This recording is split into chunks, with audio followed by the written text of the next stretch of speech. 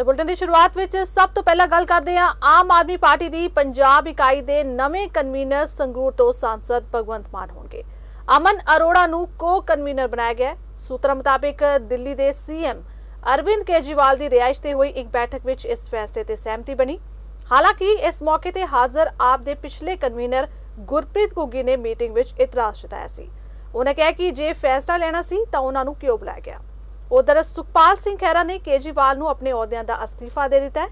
ਖਹਿਰਾ ਮੁਤਾਬਿਕ ਉਹ ਆਮ ਵਰਕਰ ਵਾਂਗ ਪਾਰਟੀ ਵਿੱਚ ਵਿਚਰਨਾ ਚਾਹੁੰਦੇ ਨੇ। ਇਹ ਵੀ ਦੱਸਿਆ ਜਾ ਰਿਹਾ ਹੈ ਕਿ ਆਪ ਦੇ ਐਨਆਰਆਈ ਵਿੰਗ ਨੇ ਫੈਸਲੇ ਦੀ ਕਰੜੀ ਮੁਖਾਲਫਤ ਕੀਤੀ ਹੈ।